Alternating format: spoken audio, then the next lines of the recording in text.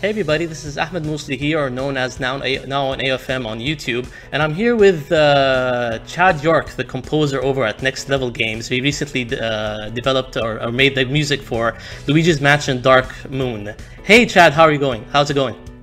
Great, how are you doing? I'm, I'm fine, thanks. Uh, thanks for giving me uh, your time, actually. I know sometimes with these projects starts up and, you know, new games and, and whatnot, usually uh, people like you don't find free time, so thanks so much for this. Oh, we're happy to do it.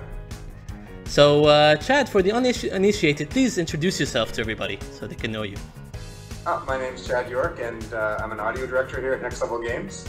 And uh, yeah, we work with Nintendo developing uh, products such as Punch Out and Striker's Charge, and uh, most recently uh, Luigi's Mansion Dark Moon. Great, that's good stuff, and we'll get to these games individually later. For now, uh, let's start with uh, where did you uh, where did your passion for music uh, start in general, or when did it start?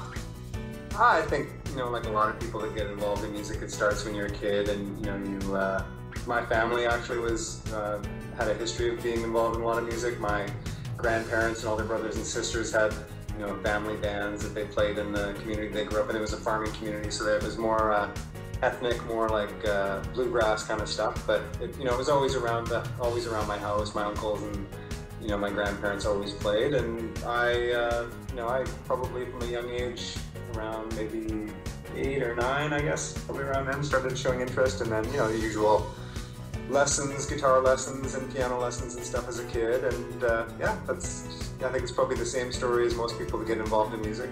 I went on, I studied at Grant MacEwan University, and uh, I was a jazz major there, and uh, that's really where I got you know a big part of the foundations of composing and understanding music.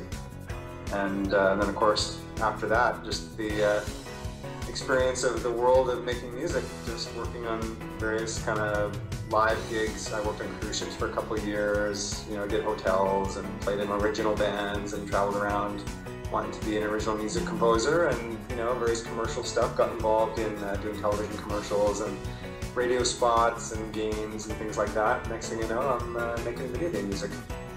Oh that's cool. And everything uh, before next level it was basically freelance stuff as you were saying. Yeah i did basically from the time i left uh, left school i worked as a freelance either you know either as a musician. I also studied uh, recording sciences when i was in that program.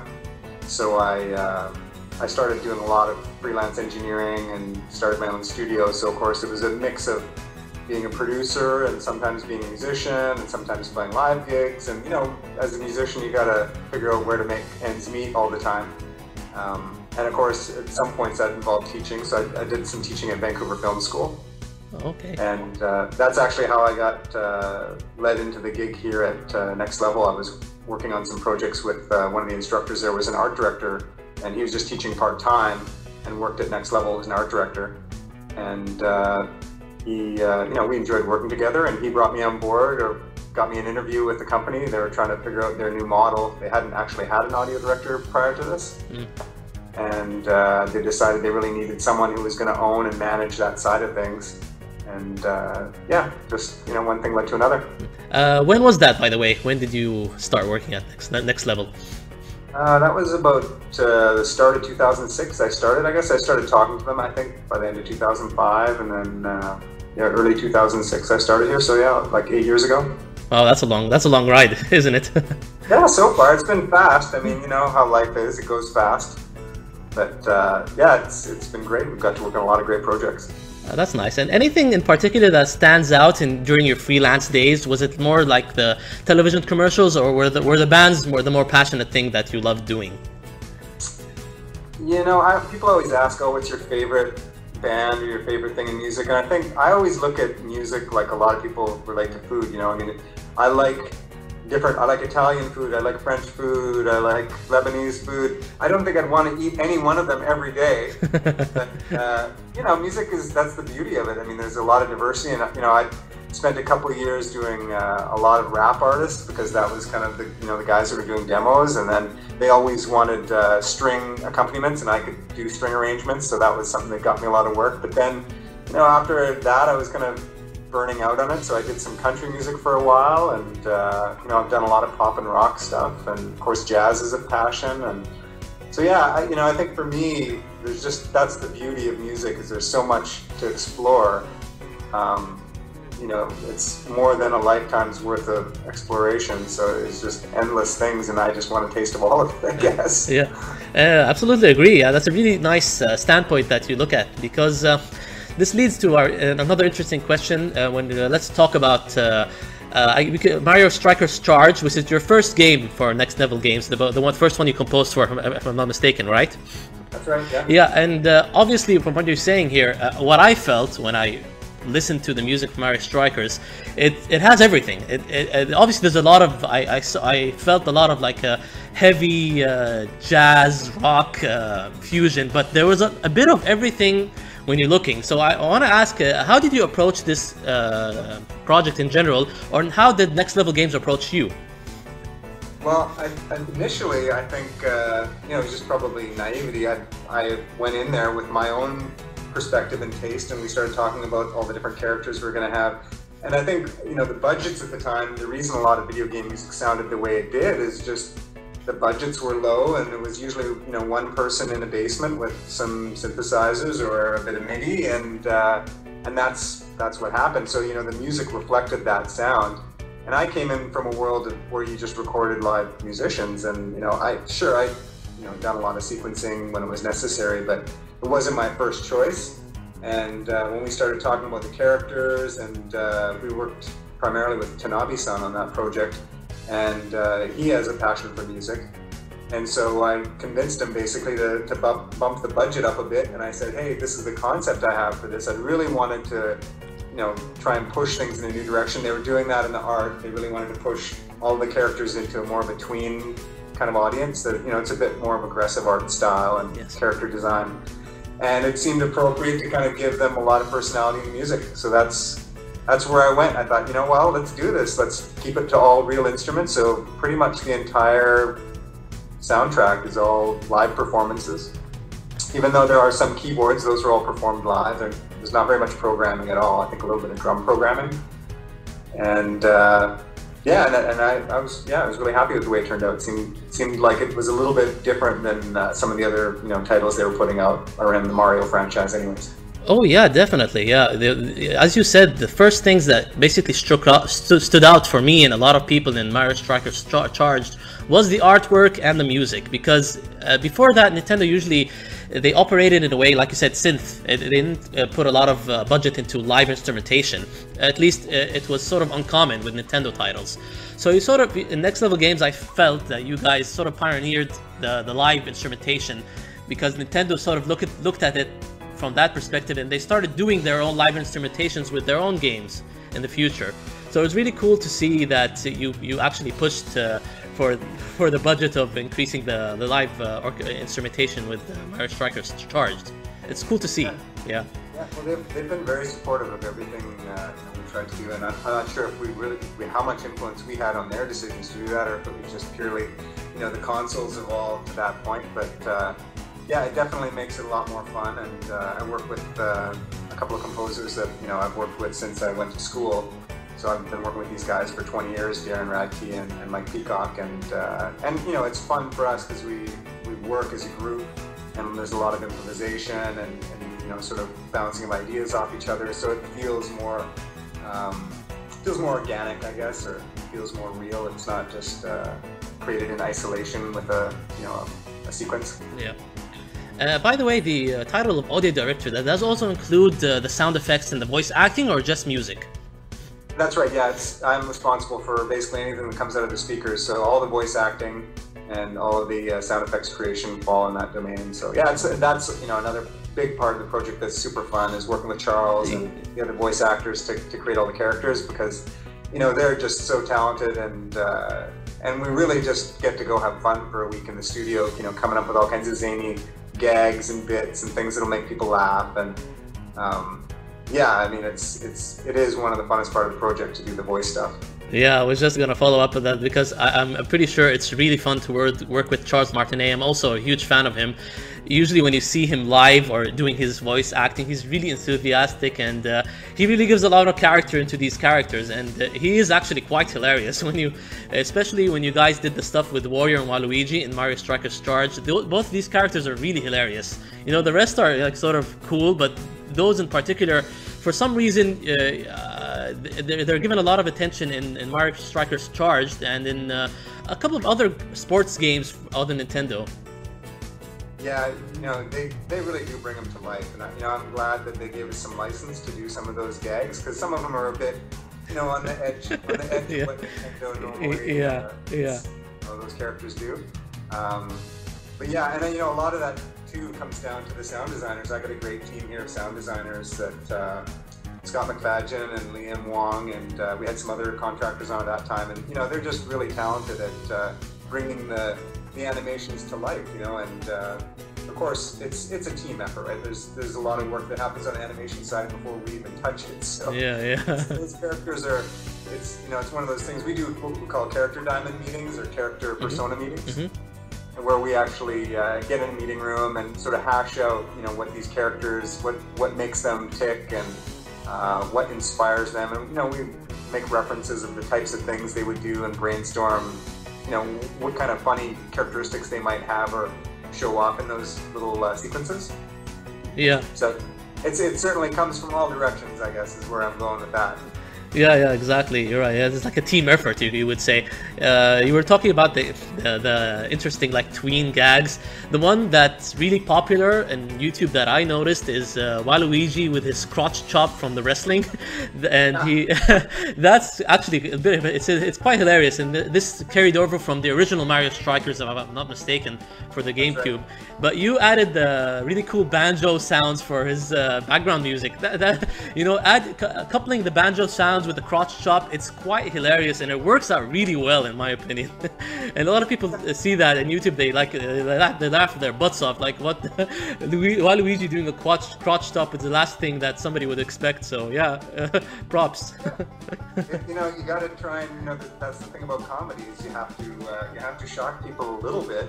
Yeah. And uh, yeah, I just I, I wanted him to really contrast the other characters, and I, you know, that was one thing that seemed to to fit. I don't know. I'm not sure why. You know, it's not like there's any history of the character being from the south of the U.S. or anything like that. but, uh, but, yeah, it seemed to match up, and it added a certain energy. You know, the banjo has such great energy that. Uh, you know, in the spirit of the sports, all the sports kind of themes had to be energetic, and the banjo at least held that together. So yeah, I was really happy with that one. Yeah, yeah, yeah, yeah. A lot of the, all of, most of the character themes, uh, in my opinion, the Mario Strikers Charge, they do fit quite well. When you look at Daisy, for example, she has that punk rock, pop rock type of. Uh, background music and Peach has the Britney Spears glam pop. Yeah, it's, it's nice that you were able to fit most of these uh, characters with certain themes that usually not seen in the Mario title, but in the same time when you when you see it all together, like you said, it, it works really well. It does. Well, I'm glad you think so because there was times where I thought it might be, uh, you know, too much of too many ingredients in the soup. Ah, but uh, yeah. yeah, I think overall, because of the comedy kind of aspect of it, I think you know it's like sketch comedy. You can yeah. kind of you can mix and match styles and get away with it. Uh, by the way, uh, before uh, Mario Strikers Charge, you were you familiar with the Mario universe at all, or did you have did you have that certain glimpses with video games, or what's your oh, background with that?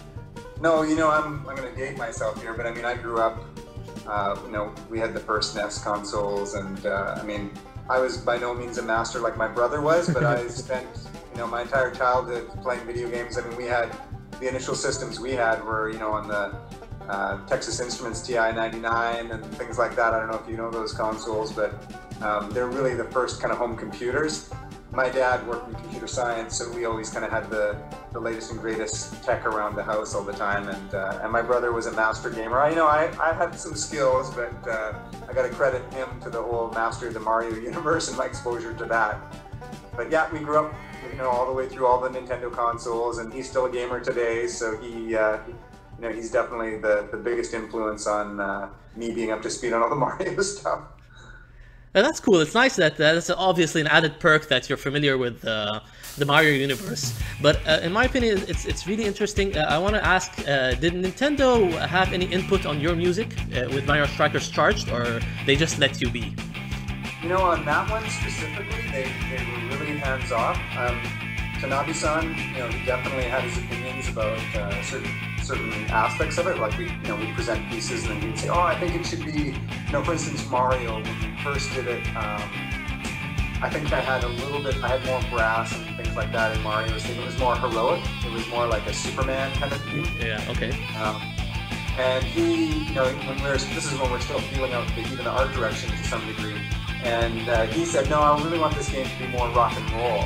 And so that was one of the first one of the first games we did was for him, and Yeah. uh, you know, it was really stuff like that, really high level. I want to keep this, you know, in this kind of area, make it fun, make it energetic, and uh, and I think that kind of drove it. We saw, I think if you, you know, when you become the uh, the big Mario, I forget what that, the Mega Mario power up or whatever. Yeah.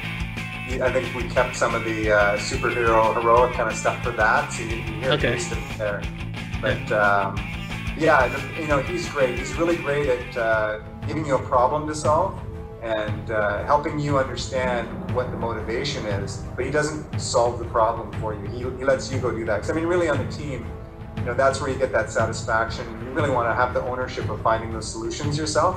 And he is, you know, he's really a sensei. You know, I mean, a lot of people talk about Miyamoto and you know how good he is at, at mentoring people, but Tanabe-san is exactly the same. He's a really great mentor, and uh, and he really knows how to lead a team. It's it's great that they uh, they actually you know were not, uh, exactly not 100% hands on with the music because I, I, in my opinion I, I would think that Nintendo would be more controlling but uh, it's really nice to hear that they're you know sort of like giving you um, glimpses of what you should do but in the same time giving you the freedom to work because uh, Mario Strikers Charged, one of the things that really uh, intrigued me is it, it didn't have a lot of remixes from the Mario games. It didn't have a lot of music from the Mario games, except uh, uh, there's the Boo. The Boo has uh, from Mario 64. There's a, uh, and the Starman theme, the jazzy or funky version of the Starman theme. Other than those, I don't recall any other. Everything else is really original, and in my opinion, that's a good thing. I'm not saying it's a bad thing, but it's nice to see that that you know you sort of shone through with original music instead of depending on the old Mario titles, and it gets you know, sort of redundant if there's just remixes and nothing else, in my opinion. Yeah, I, I think you know I've tried that on all on that title specifically and on on Dark Moon. I mean, I think people want to have some new content. We did do Bowser. We kind of referenced the boss theme Bowser for Strikers as well. But yeah, you know, people want a flavor and reminder the, the, the legacy and the history of the characters. But at the same time, you know, you want to feel like you're getting something new and fresh. Yeah. So, you know, Punch Out, we did a different angle. There was so much nostalgia around that game. You know, we, we had to stay true to it. Every every time we turned around, the feedback was people wanted to hear that Punch Out theme. So we had a lot of the Punch Out theme in that game. But uh, yeah, I, I'm a firm believer in you know um, in trying to provide as much original new content. That's what that's what people are paying for, right? And Yeah. you don't want to just rehash the same ground every time. Yep, yep, absolutely agree. And that actually, it's an excellent leeway because we're going to move on to Punch Out for the Wii. And it's uh, it's really interesting. Everybody was really surprised that this game was revived back from the dead because nobody expected it, especially during the times of the Wii. And it was really interesting that when, people heard that Next Level were doing it, uh, everybody was really excited because, uh, yeah, like I said, the, the take on Mario Strikers Charge was very original. So on that note, uh, same question. Uh, uh, you were uh, sort of glimpsing on your answer here. Um, uh, the approach was slightly different compared to Mario Strikers Charged, right? In terms of audio. Yeah, I think you know the one thing we kept the feedback all the way around in terms of the character design, the gameplay design. People find that game very precious, and uh, you know, I mean, it's a great theme. The original theme is, is so great, and I think uh, you know we managed to bend and mold it into enough different varieties that you know you weren't really just uh, being pummeled by the same music over and over again. So, you know, I tried to make the theme as uh, diverse as we could and give people, you know, the flavor of the characters and basically let the flavor of the characters be the most important thing. So I think that, that really is a game about personalities. Yes. And uh, so in some ways, giving them the same melody all the time, it just reinforces that because you stop really listening to the melody, more hearing the wrapper that the melody is being presented in. Yeah, yeah. Yeah, you're right. It's it's uh, it's uh, the, I think the originality from my, from uh, Punch Out came out like you said with the character themes. Each character has its uh, just like Mario Strikers Charged. You know the when you see the other boxers, again the humor shines through. You know it's like this next level game humor shines th- shines through in terms of the boxers. And uh, can you tell me more about uh, how you got got into composing the themes of each boxer?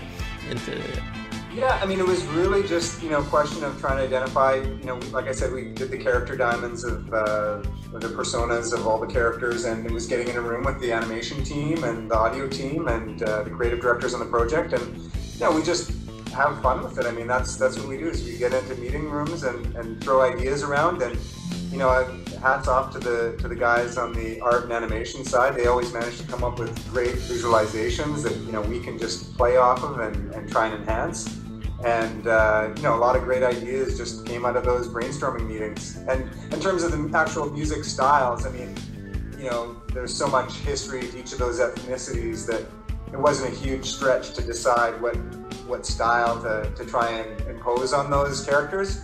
Um, you know some of them we had to you know bend a little bit more to try and create. I've never done any like russian choir stuff for Soda Popinski or anything like that. So, you know, we had a little bit of research to do and background stuff to try and make those themes really work. But uh, in the end, yeah, I think, you know, they, they match up pretty well to their ethnicities. And I think overall it was good. Uh, did Nintendo uh, change their approach with you guys in terms of Punch Out, or they it was the same uh, process as Mario Strikers Charged in terms of audio yeah. in general? Yeah, pretty close to the same process. Um, yeah, I, I think it was actually almost identical. We were working with Tana- Tanabe-san again, and mm. uh, yeah, they're very, you know, the same sort of direction. You know, they would come into a meeting and sort of say, I think the one I remember distinctly was um, Kid Quick. You know, we had a, uh, a little bit more of a down tempo kind of urban theme.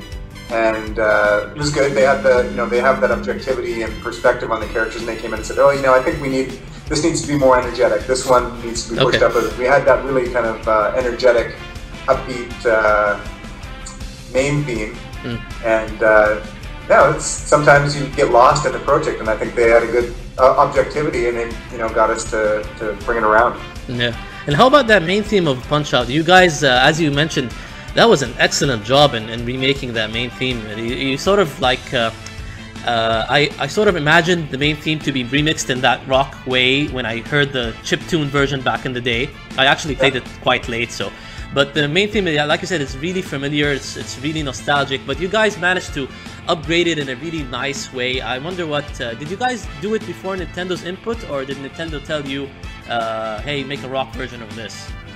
Yeah, no, that was we were doing a prototype. So the way often these games work is we work on a prototype initially, just the base, prove out the basic gameplay mm-hmm. and prove out some of the art style pieces and prove out what the audio style is going to be. And uh, usually during that time, they really give us a lot of uh, leeway to you know sort of pitch ideas and come up with our concepts. So yeah, that one we just came up with. I mean, I think that theme is so uh, iconic that it, it, wasn't too difficult to transform it and modernize it. You know, moving from the 8-bit synthesized world. Yeah. And you know, and I took the same approach. It was all real instruments played by yeah. real people. You know, it's a real trumpet, it's a real guitar, real bass player, real drums, and you know, we wanted to, to have that organic feel. And I think the rest of it just is, you know, it's part of the players on it, and uh, managed to have, you know, we have a great uh, pool of players here in Vancouver, and Darren and Mike are great uh, musicians as well. So you know, just that in itself updates it, right? Right, right, exactly. Uh, by the way, before moving on, uh, what's uh, the relationship between you and uh, Mike and Darren? Are you both like uh, each one composes a certain theme, or do you guys work on maybe the same track, or how does the relationship work exactly? Yeah, we, we spend a lot of time. I mean, sometimes people will bring ideas, you know, to the sessions, but we do spend a lot of time in the sessions just basically sort of group brainstorming, group writing. Um, you know, of course, because we all play different instruments, we can set up and basic. It's basically like jamming through ideas. Um, and you know, all of us come from the same sort of jazz background. Because we came from the same school, we sort of speak the same language in terms of theory and you know, and how we sort of look at music. So it's pretty easy for us to, you know, create stuff on the spot. But there are definitely times where you know guys come in with a, a pretty you know, like a lead sheet for an idea, like, hey, I've got this idea, it's this set of chords, this melody, or mm-hmm. sometimes they'll even sequence out an idea and bring it in, rough sketches. Okay. And then, uh, and I'm the same, you know, I'll bring ideas in and then we sort of work through the arrangements together and record them. And, you know, I'm not a super proficient piano player, I was a guitar major, so, know, both Mike and, and Darren, well, if there's a piano part, they'll take the duties of, I'll hack something in, it's just functional, and then they'll do the rest. And likewise with, you know, some, some of the other instruments I'll perform or, yeah. And uh, yeah, that's that's basically how it goes down. We just kind of work like a band. I, you know, yeah. I do it another way. It's, it's really a luxury to have uh, a couple people to work with that, well, especially as talented as them. But the fact that they uh, they add their own perspectives and they add their own, you know, their own tastes and rhythm and harmony to it that enriches it. You know, if it comes from one person, it's only going to be so deep. And when you add those other elements, it really it really makes the whole product richer. Yeah, it's sort of like jamming, right? it is, and that's exactly what it is. I mean, we have an idea and we just, you know, just go for it. And, and usually, those are the best ideas. the ones that you know that they come from. They come from that instinct, and they just happen on the spot. And your first kind of your gut instinct to do something, and that's usually closest to the mark. Absolutely agree. Yeah, exactly. And on that note, we can move on to uh, Luigi's Mansion Dark Moon. And uh, this is the game that I felt you sort of took a different approach compared to the previous two because it was a moody game. Sort of like it, it, it, it, uh, it reflected uh, ghost hunting and mansions. It, it, it, wanted to be scary in a comedic fashion. So the approach felt really different and the music felt really moody. So can you tell me more about how the process came to be? Yeah, well, so the beginning of that project, we actually did a lot more paper design for the whole product than we had previously. So a lot of it was uh, the director, the game director, Bryce Holliday, and the art director, Neil Singh, and myself, and the producer, Ken Yeeloy. We basically were, uh, we're actually in this room that we're shooting in right now. At that point, uh, we hadn't renovated it yet. It was just a, basically a small meeting room.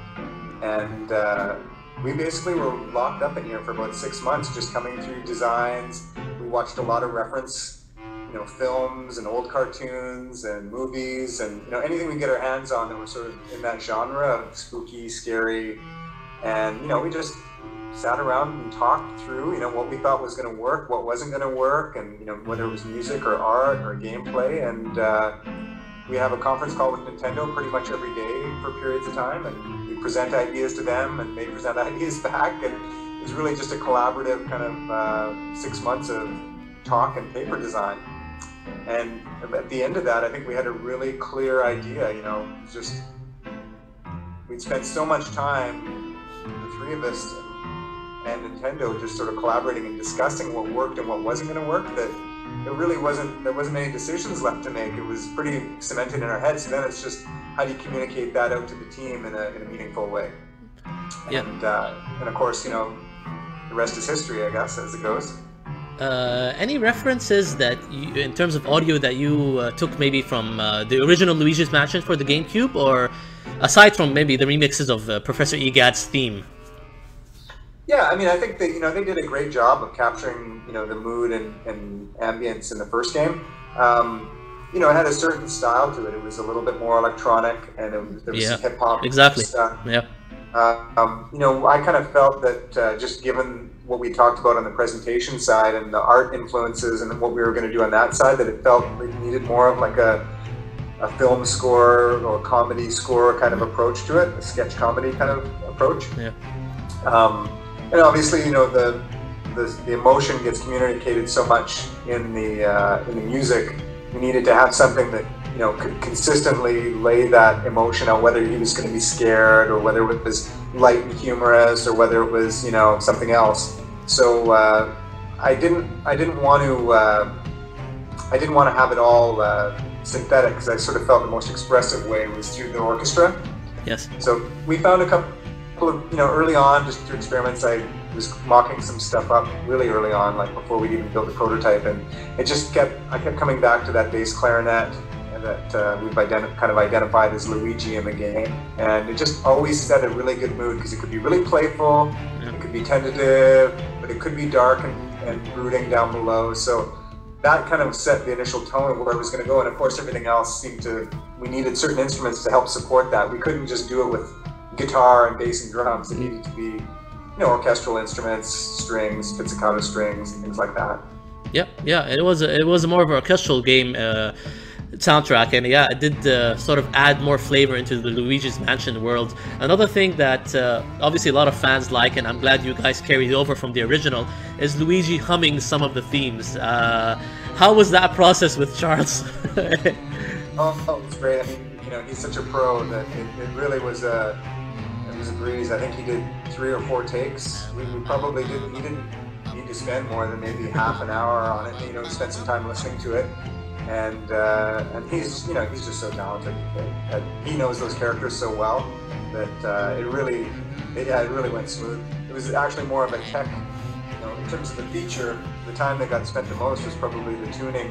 You know, Liam, uh, the sound designer that was working primarily on that that piece, uh, was really just getting it to work properly. Uh, the coder, of course, uh, Ewan on the team here that put it together, Ewan Woolley, he uh, you know, he spent a lot of time putting together the parameters for us so we could tune it and make sure it wasn't happening too much or too little. And you know, it's it's funny, it's little things like that seem to the consumer when they're playing the game like it's a you know a relatively small feature, but you know we spend weeks on that trying to get it right and making sure that it was just just right for, for Luigi.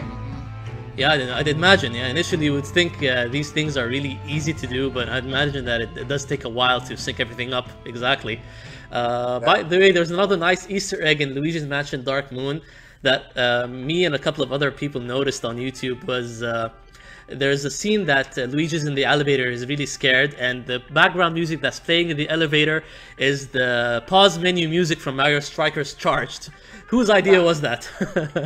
that was yeah, that was mine. It was definitely a uh, you know we wanted to pay homage to some of our previous titles, and you know it seemed it seemed like a good gag to have elevator music. Just one to contrast. You know, it's such a great contrast to have that light, airy music when there's something so scary about to happen. But then the fact that it was, you know, historically something that we had done, yeah, it was just you know a bit of fun. Yeah. Uh, what's nice about it is actually this that pause theme actually is really suitable to be elevator music. So it, it does sound like elevator music in a good way. Obviously, I didn't mean don't mean it bad, yeah, but it, it, it's excellent that uh, you were able to put oh, sneak in that Easter egg. even in even in strikers, that was our intent. Was that you know you take the break and and you know the gag in strikers too to have the elevator music in the pause, right? Yeah, yeah, exactly. it's funny, yeah. So uh, um, let's move on to uh, what's next for Chad York and uh, Mike and Darren. How are things going so far? in Next Level Games. Uh, the last thing I read was an interview. You guys were were obviously. Um, uh, talking about very positively about Nintendo to the point that you guys don't want to work with anybody except for Nintendo. So that's a really cool uh, that's a really cool thing that you guys are doing. So how are things going so far with them?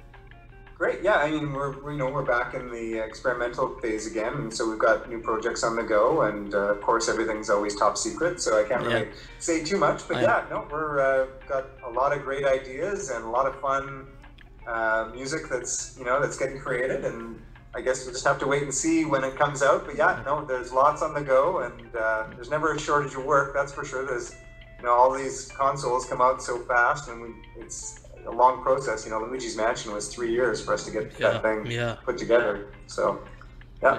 Actually, can't wait for your next project. Hopefully, it, it comes out sooner than later.